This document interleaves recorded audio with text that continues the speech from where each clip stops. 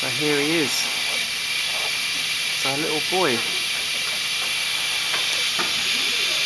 Breathing okay.